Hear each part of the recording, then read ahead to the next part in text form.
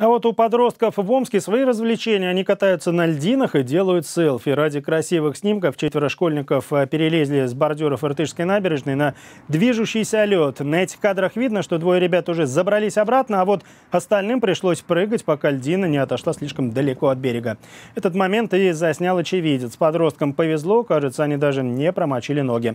Ну а я напомню, что в Омском управлении МЧС еще несколько недель назад заявили об опасности выхода на лед реки.